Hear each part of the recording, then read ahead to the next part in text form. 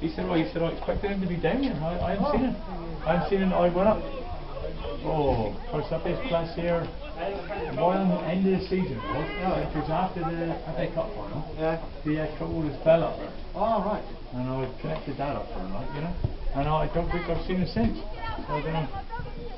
And I expected him to be. Well, I didn't think he'd come down today He if bloody United lost, didn't he? Yeah. Right, and Brad, come, come, come! Close the time, Cal. Close the time.